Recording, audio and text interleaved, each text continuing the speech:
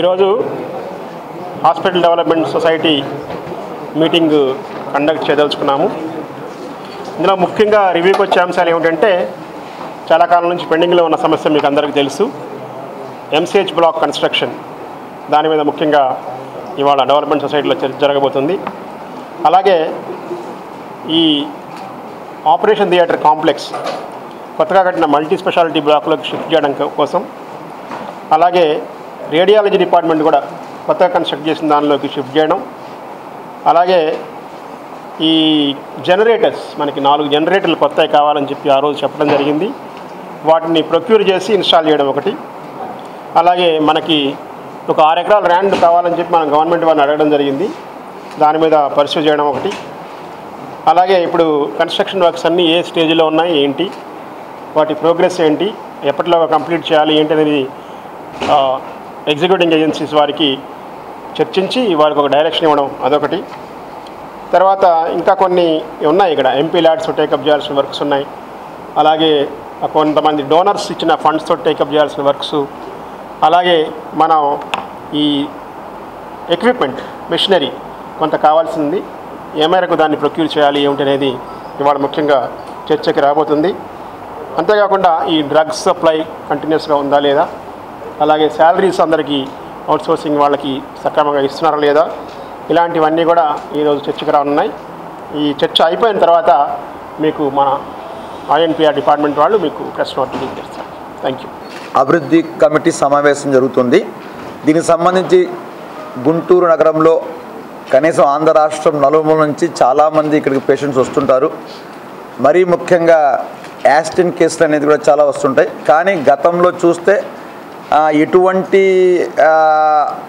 మార్పు అనేది లేదు. కానీ జగన్మోహన్ ముఖ్యమంత్రి అయ్యారు. ఈ రాష్ట్ర ప్రజలకి న్యాయం చేయాలా? పేదవాళ్ళ జీవితంలో వెలుగునివ్వాలనేది ఆయన ఆలోచన విధానం.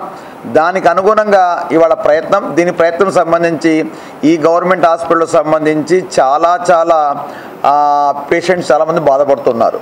ఎందుకంటే సరైన వసతి లేదు. ఒక్కొక్క బెడ్ మీద ఇద్దరు ముగ్గురు సరైన ఫ్యాన్లు ఉండవు.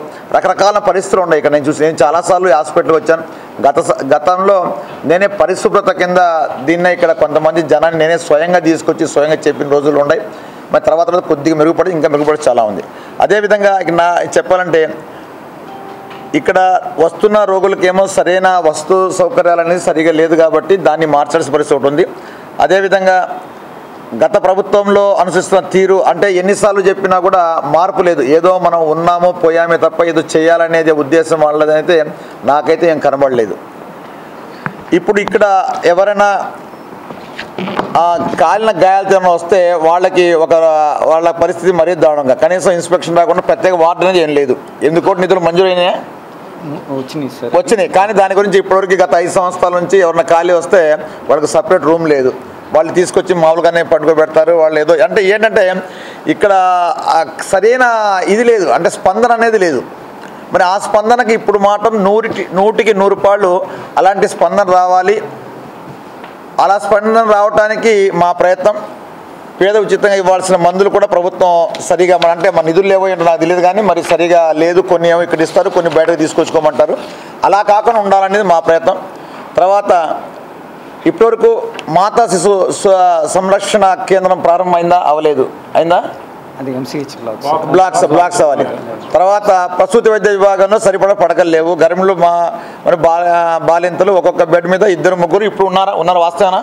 ఉన్నారు కానీ అదివరకుతో పోలిస్తే తక్కువ తక్కువ. అయితే ఉన్నారు. వాస్తవం ఉన్నారు. ఒక ఇద్దరు ఇద్దరు ఉన్నారు. తర్వాత మనం ఎందుకంటే ఇక్కడ బంగాళ బీళ్ళు ఆరు ఎకరాలు ఉంది కాబట్టి ఆరు ఎకరాలు అక్కడ ఇది చేసేసి శిశు కేంద్రాలు అక్కడ పెడితే అక్కడ బాగుంటుందా? వేరేదా ఏదో ఒకటి అటు ఎందుకంటే జనం ఎక్కువ మంది ఎక్కువ మంది వస్తున్నారు కాబట్టి ఇక్కడ ఎందుకంటే సాలి చాలని ఇప్పుడు నిజంగా మీరు గేటు మీద ఒక ఆరు గంటలు నించితే కనీసం వాళ్ళు వచ్చి వాళ్ళే నెట్టుకెళ్ళాలి బండి? అంటే ఇక్కడ తీసుకెళ్ళడానికి ఎవరు లేరు స్టాఫ్ లేరు. ఆ విధమైన పరిస్థితి ఉంది కాబట్టి దానికి కూడా ఒకసారి మనం ఇది చేయాలా? అదేవిధంగా మీరు కరెక్ట్ గారు ఇప్పుడు చెప్పారు మన ఫైవ్ హండ్రెడ్ కేబీ ట్రాన్స్ఫార్మర్ కావాలని. అది కూడా అర్జెంటుగా మనం తొందరగా ఇండియన్ పెట్టేస్తే గవర్నమెంట్ తరపు నుంచి మనం కూడా చేసుకోవచ్చు. మరి అదేవిధంగా ఇక్కడ చాలా చాలా ప్రాబ్లమ్స్ ఉంటాయి కాబట్టి తర్వాత సిటీ స్కాన్ ఒకటి మాత్రమే ఉంది, ఇంకోటి అవసరం ఇలాంటి మీకు ఏమేమి కావాలో మొత్తం రాసి ఇచ్చేస్తే మొత్తం అవసరం మొత్తం మనం తీసుకొద్దాం. మీకు ఏది అవసరమో చెప్పండి. చెప్తే దాని మంది కలెక్టర్ గారు ఉన్నారు. మళ్ళీ ప్రభుత్వం నుంచి ఏమంటారు నేను వెళ్ళేస్తాను మంత్రి గారిని తీసుకొద్దాం. ఏదైనా పేద ప్రజలకి ఎలాంటి ఇబ్బంది కలగకూడదు అనేది మా ము- ముద్ద ముఖ్య ఉద్దేశం. దానికి అనుగా ముందుకు పోవాలనేది. ఎందుకంటే గతంలో ఏదో చేసాం ఉన్నామని గత ఐదు సంవత్సరాలు నేను చూస్తూనే ఉన్నా ఇక్కడ.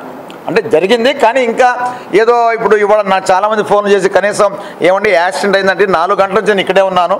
మరి ఇప్పటివరకు ఎవరు రాలేదని అలాంటి ఫోన్లు చాలా ఉన్నాయి. కాబట్టి స్టాఫ్ పెరగాల లేకపోతే ఇంకేం కావాలా నర్సులు కావాలా డాక్టర్స్ కావాలా మీకు ఏమేమి కావాలో ఇండియన్స్ మొత్తం రా ఒకసారి రాసి ఇవ్వండి అలా రాయకుండా ఏదో మీరు మా పెట్టుకుంటే ఏంటంటే ఆ ప్రజలు ఇబ్బంది పడుతున్నారు కాబట్టి అలా కాకుండా మీకు ఏమేమి అవసరాలు ఉండేవో అవసరాలు మొత్తం రాసిస్తే మనం దాన్ని ఇండియన్ పెట్టుకుంటే తప్పకుండా నూటికి నూరు పాళ్ళు మనం దీనికి ఏమేమి అవసరమో మొత్తం తీర్చాలని నా కోరిక ఆశయం అదేవిధంగా ఈ జింకానా వాళ్ళు ముప్పై కోట్ల రూపాయలు ఇస్తున్నారు అదేవిధంగా మళ్ళీ ఒక ము- ముప్పై ఐదు కోట్లు మొత్తం అరవై కోట్లతో బిల్డింగ్ కట్టడానికి రెడీగా ఉన్నాం. మొన్నే వాళ్ళు ఆ, వచ్చిళ్ళారు. సంబంధించిన వాళ్ళు వచ్చిళ్ళారు. శ్రీనివాస్ రెడ్డి గారు వచ్చిళ్ళారు. ఈ మొత్తం చూసెళ్ళారు. జగన్మోహన్ రెడ్డి గారితో కలవడం జరిగింది. ఇక అరవై కోట్లతో కూడా ఒక ఐదు అంతస్తుల బిల్డింగ్ మనం ప్రారంభించడానికి తొందరలో చేయబోతున్నాం. జగన్మోహన్ రెడ్డి గారి ఉద్దేశం ఒకటే. మా ముఖ్యమంత్రి గారు పేద ప్రజలకి ఎక్కడ ఎలాంటి ఇబ్బంది కలగకూడదు. ఎవరైనా సరే వాళ్ళు ఊరుకునే ప్రసక్తే లేదని చెప్పేసి ఆ నినాదంతో ఉన్నారు కాబట్టి తప్పకుండా ఇక హాస్పిటల్లో మార్పులు కావాలి. గతంలో కన్నా మీకు ఎంత టైం కావాలో తీసుకోండి సెలవు కావాలో తీసుకోండి. కానీ ఎవరు వచ్చినా పేదవాళ్ళు మా ఇబ్బంది పడకుండా వాళ్ళు సంతోషంగా వెళ్ళాలనేది ఇది. ఏ- ఏ- ఇక్కడ కొంత ఏమవుతుంది? లేకపోతే ప్రైవేట్ హాస్పిటల్ వెళ్తున్నాం. అంటే ఇవాళ ప్రైవేట్ హాస్పిటల్ వెళ్ళాలంటే ఆ ఉన్న ఆస్తులు అమ్ముకొని వాళ్ళు లేకపోతే మూడు రూపాయలు వడ్డీకి తీసుకొచ్చుకొని ఆ విధంగా చేసే పరిస్థితి కాబట్టి మన గవర్నమెంట్ హాస్పిటల్లోనే ఒక మంచి ట్రీట్మెంట్ చేస్తే బాగుంటుంది అనేది నా సలహా. ఆ విధంగా ముందుకు వెళ్ళాలనేది మా ఆలోచన విధానం అన్నమాట. Please watch Tulsi News. Please subscribe to Tulsi News.